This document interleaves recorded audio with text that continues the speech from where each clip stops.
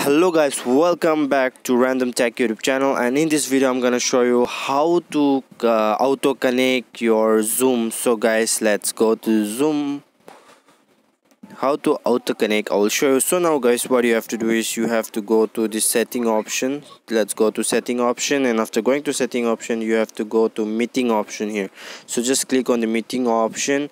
And then you will find here lots of options. So let's uh, connect to this auto connect to audio option. So just click here and then use internet and then go back. And then you can see here it's done. So now um, if you wanna there are lots of uh, things you can uh, set set. There are lots of things. So guys this is how you can do that. Thanks for watching guys